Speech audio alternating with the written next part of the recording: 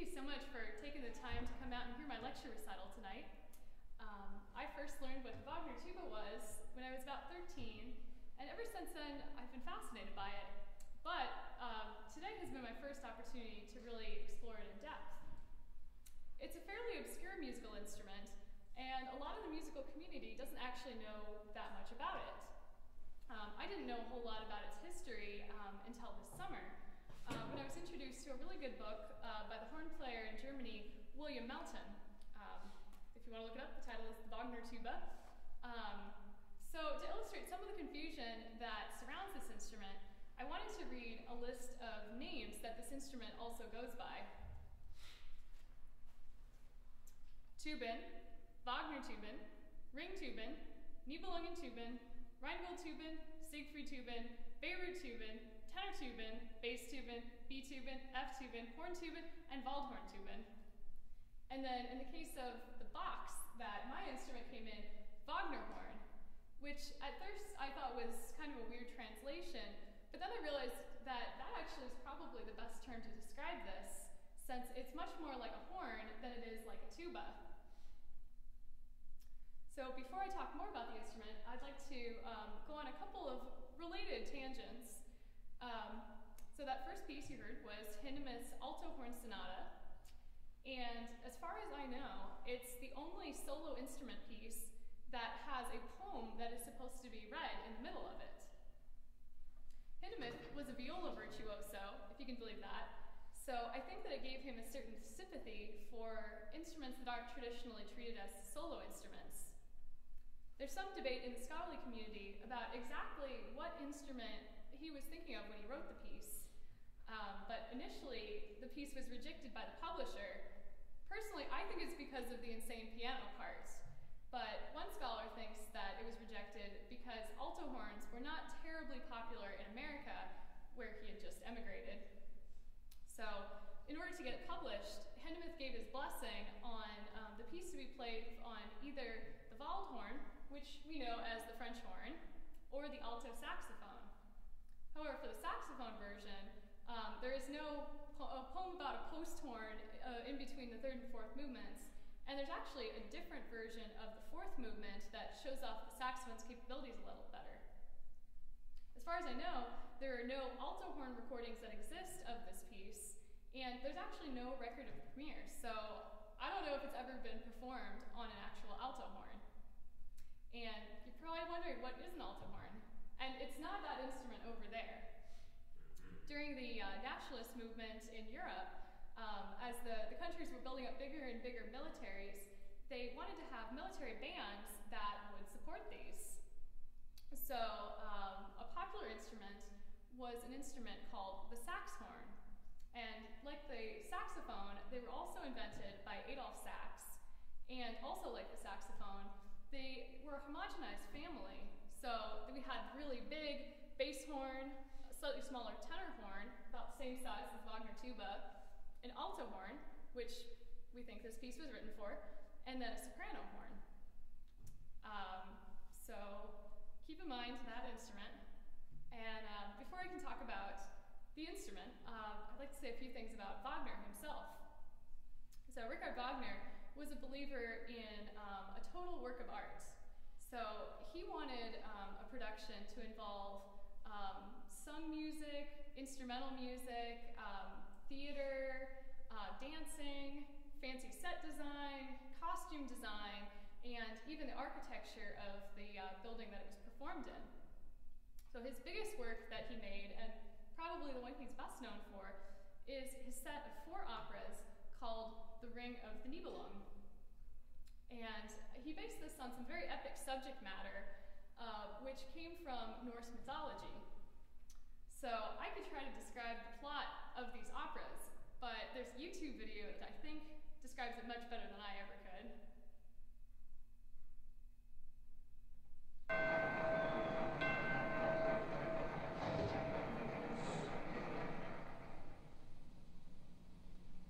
The Ring of the Nibelung is actually more of a mini-series because it's four full operas.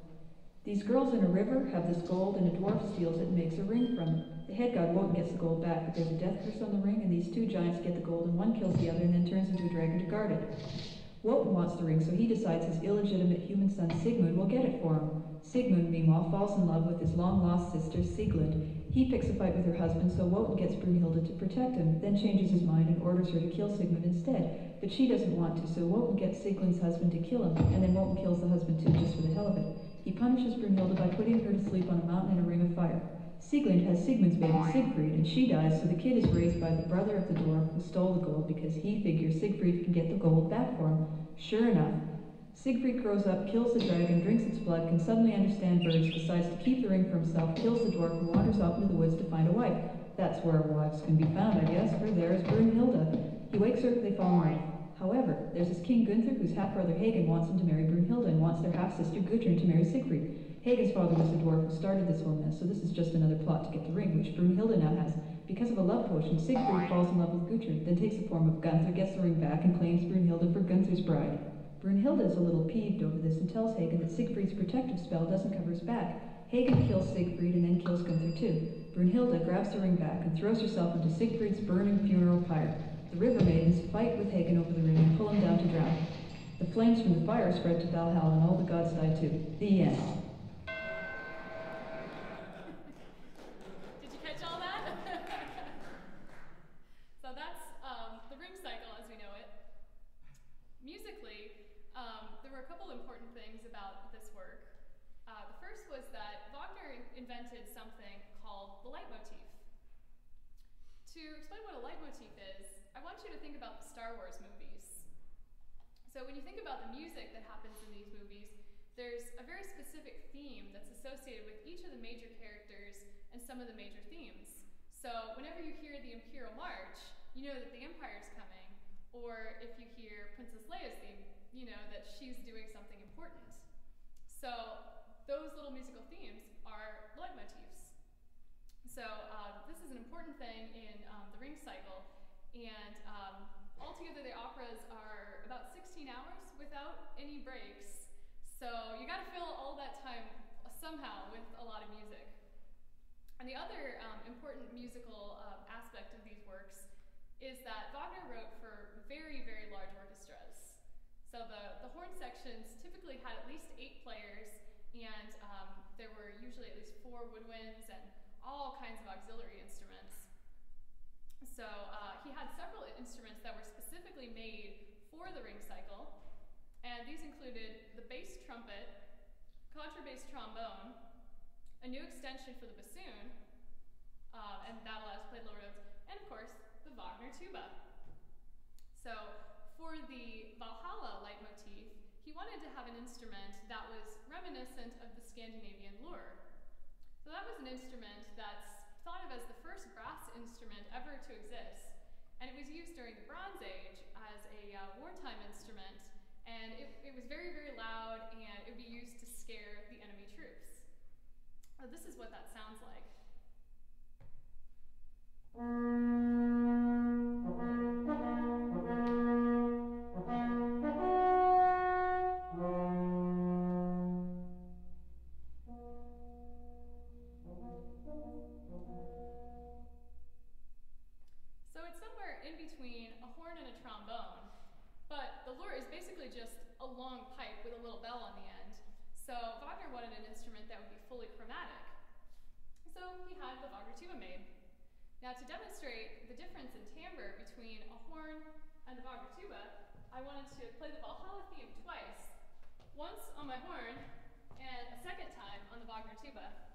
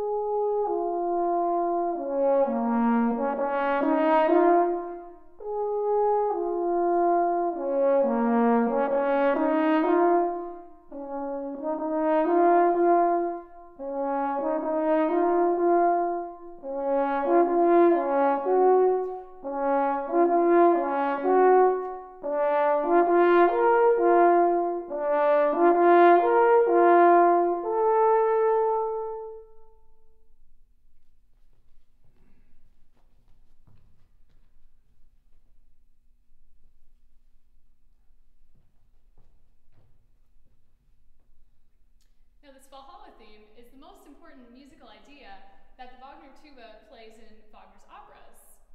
Other than that, um, they mostly play background music, but because this is a leitmotif, um, it is something that keeps popping up throughout the opera, so that's how they're able to play in all four of them. So um, as far as the instruments themselves, Wagner was very impressed by um, saxes, um, sax horns, um, and he tried to have sax create an instrument that was this one that would be played by the horn players, but due to money issues, that fell through. And they were first commissioned by Johann Georg Ottensteiner, who was the Royal Court instrument maker in Munich. So uh, Wagner wrote in each of these operas for a quartet of Wagner tubas, so that was a pair of tenor instruments and a pair of bass instruments. So I don't want to put you to sleep by talking about the confusing notation for this, but if you want to know more, the Melton book goes into it in a lot of detail. Uh, in the early days of um, performing the ring cycle, it was sometimes hard to get a hold of a true Wagner tuba. Um, they were a new instrument, and so there weren't a whole lot in existence. So the parts were often played by the local military tenor horn players. Uh, this generally worked okay, but it wasn't quite right since that's an instrument that has a bore closer to a trombone. So the timbre isn't quite what Wagner was looking for, and um, they had even more intonation problems than that instrument has. So the famous horn maker, Alexander, was the first to manufacture and market the term Wagner tuba. So Wagner never heard the Alexander instruments, and uh, now there's a lot of makers who make uh, Wagner tuba. And on a side note, these instruments actually replaced the true tenor horns in the German military. And um, I know in Berlin, uh, in a lot of instances when you know orchestras call for um, euphonium, it's actually played on the Wagner tuba instead. So they're very proud of the instrument. This next piece that we're going to perform is um, an arrangement that I made for my literature class, and it's the world premiere. So, uh, as you might have guessed, there are hardly any solo pieces written for the Wagner tuba, so I wanted to come up with something that I could play for this occasion. So I'd like to thank my, my good friend Bradley Green for lending me his theory skills for help on the transitions, and for David Chapman, pianist, for um, embellishing the piano part a little bit with um, his many years of opera coaching. So how I um, wrote this piece was I listened to the operas again, and I picked out the major themes that I thought were most important to that instrument. So if you flip over the handout, um, I've got a list on the back of all of the uh, material that I used, so you can follow along since it's in the order that it appears in the piece. For the most part, I took music from the horn parts, since as I mentioned, Wagner tubas don't actually play that much variety in the operas. But I did also borrow from um, tuba parts, oboe parts, string parts, and even a percussion part. One of the passages I found most interesting was the so-called Ride of the Valkyries, which is, I think, um, I see the opening to Act Two in uh, Valkyrie. So at that point, um, I had figured that, um, you know, there's the brass is going at full speed. Wagner tuba must be part of that. But no, actually, at that point in the operas, the players who were playing these instruments have switched back to their regular horns. So what's kind of interesting about that is um, those are players numbered five through eight, and um, they're the ones who play the characteristic melody. Usually, players one through four are the ones who get the better parts. So I'm not sure if that was a consolation prize or what. So the, the thing I want you to keep in mind with this piece is that everything you're going to hear is from Wagner's operas. So I hope you enjoy Wagner's Ring Cycle Abridged.